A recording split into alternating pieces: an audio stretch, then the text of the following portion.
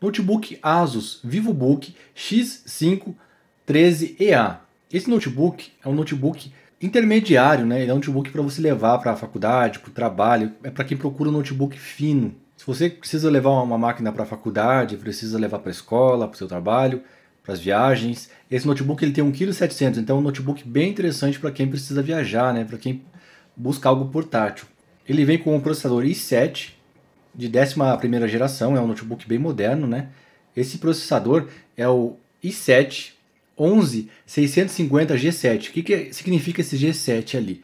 É que ele quer dizer que é um, um processador de baixo consumo de energia, tá? Então ele vai consumir menos energia do que, por exemplo, um i7 é 11750H ou alguma coisa do tipo, ou 700.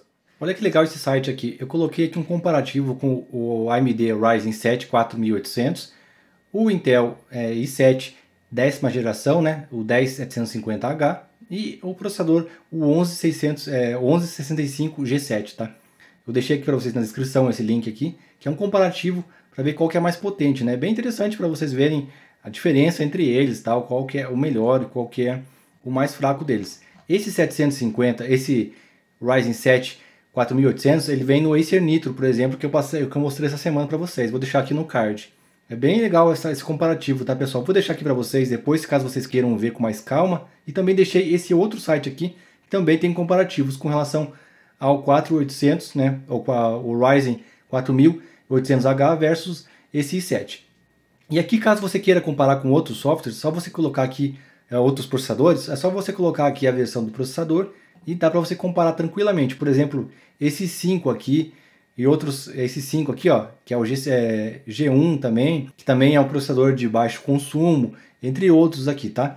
Dá para você pegar os processadores que eu comentei essa semana do Acer Nitro e fazer uma comparação, que é bem legal, tá? Vou deixar esses links para vocês na descrição, caso vocês queiram ver. Ele é um notebook, no caso aqui ele fala aqui, né, que é 2.8 GHz, 12 MB de cache, né? Ele vem com Windows 10, só que você pode fazer o upgrade gratuitamente para o Windows 11. Uma coisa que é legal é que ele vem com 16 GB de RAM aqui, então é muita coisa. Vem 8 GB soldado e mais 8 GB off-board. Então quer dizer que, você pode aumentar isso se você quiser. Se você quiser colocar um pente de 16 ali, é possível. Vai ficar interessante? Não sei. Não sei te dizer. Terei que testar para poder dizer se vai ficar interessante ou não. Nem sei se a, se a placa dele aguenta é, 24 GB ali, mas fisicamente não é, não é uma limitação. Fisicamente. Tem notebooks que é soldado e acabou, né? Nesse caso não, você pode fazer o upgrade. E ele também tem 512 GB de SSD PCI Express G3 segunda geração. Ele é um notebook bem bonito, ó, como vocês podem ver. Tem essa tecla verde limão aqui, que é uma tecla meio suspeita, né? Com relação ao design, mas enfim. O touchpad dele, pelos relatos que eu vi, ele não é tão liso assim o touchpad, podia ser mais interessante. Ele vem com um, um, o sistema de som dele é muito bom, se vista a comparação com os outros notebooks brasileiros aí que tem, né? Ele é bem bonito, né? Ele é um notebook bem sóbrio assim, ó. Eu achei ele bonito. A bateria dele vai durar mais porque ele usa esse processador que é um processador de baixo consumo, como você pode ver é de 11 geração, então é bem potente, tá? No momento é o que tem de mais moderno, assim, no caso, a 11 geração, né? Ainda não chegou a 12 no Brasil. É provavelmente que chegue no segundo semestre, sempre assim no Brasil. Sai lá fora e depois chega aqui no segundo semestre. Então aqui ele fala que ele tem 40% a mais de desempenho com essa inteligência artificial, a bateria vai durar mais e ele tem a Intel Iris Xe, né, que é a nova placa de placa gráfica da Intel, que é uma placa gráfica on-board, digamos assim. Então ele tem aqui proporção de 85%, ele tem bordas finas, né?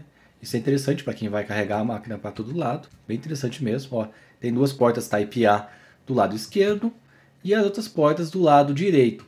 Eu não gosto muito particularmente de quando você tem aqui a porta do do fone de ouvido do lado direito, porque se você é destro, por exemplo, a maioria das pessoas são destras, né? Se você é destro, essa porta aqui do lado direito vai te atrapalhar se você for usar ela para escutar uma música tal, porque o mouse vai ficar bem em cima ali, né? Então talvez te atrapalhe. Talvez não, né? Dependendo do teu uso. Aqui é uma porta Type-C que não tem vídeo.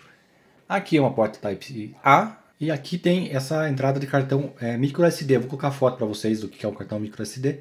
Eu prefiro quando é o cartão SD normal, que é o grande, né? Que é mais fácil, mais prático. E aqui então, tem essas portas, né? Aqui é a porta de, de entrada de eletricidade, né? A energia. Não sei porque eles fizeram invertido essa, essa questão, né?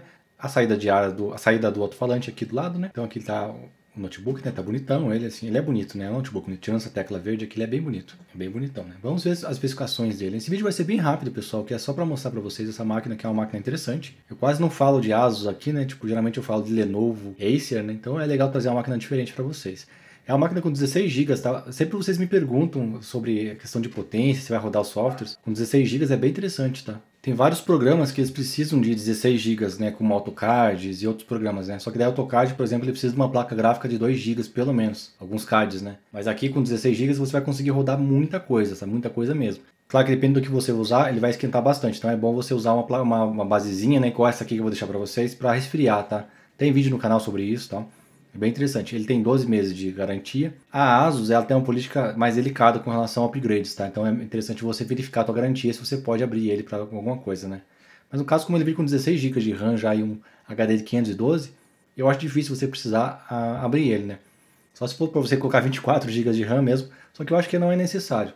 Mas vai de cada pessoa, né? Ou trocar mesmo o HD para um de 1 TB, por exemplo. Mas é interessante você falar com a Asus primeiro. O teclado dele não é retroiluminado, tá? A placa é integrada, que é aquela da Intel X, é, Iris Xi, né?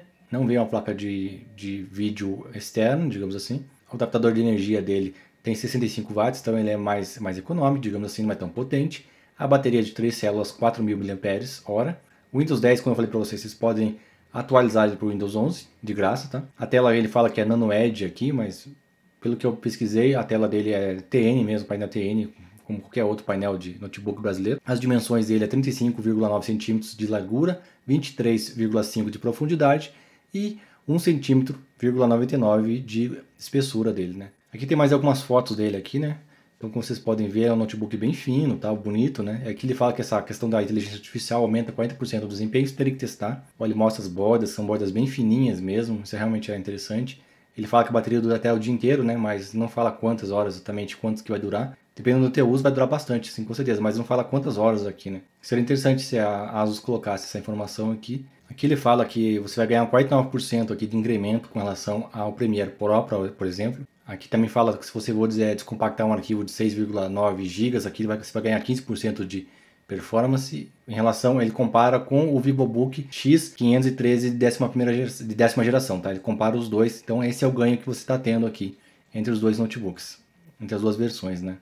Aqui tem essa tecla FN mais F que para você ativar o, turbo boost dele, digamos assim, né? O boost dele, que vai aumentar a refrigeração e vai aumentar a velocidade do notebook também. Por exemplo, aqui ele fala da, da ventoinha e tal, que ela é 10% mais, é, mais silenciosa, tem 30% de fluxo de ar, né? Tem três fases do motor dela, então no máximo ali quando você liga o turbo boost dele, né?